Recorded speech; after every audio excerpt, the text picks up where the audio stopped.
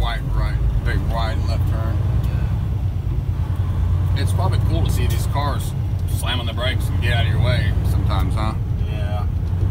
Well, because yeah, I mean, we don't want to get freaking uh, run over by a semi. I mean, you don't go head to head with a semi in a passenger car.